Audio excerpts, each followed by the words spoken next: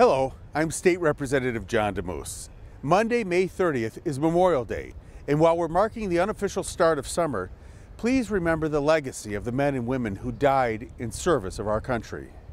President Lincoln spoke of honoring those who laid so costly a sacrifice upon the altar of freedom. This Memorial Day and every day, let's be worthy of that sacrifice and devotion. I'm Representative John Damoose, remembering those who gave their lives for our country and wishing you and your family a pleasant Memorial Day.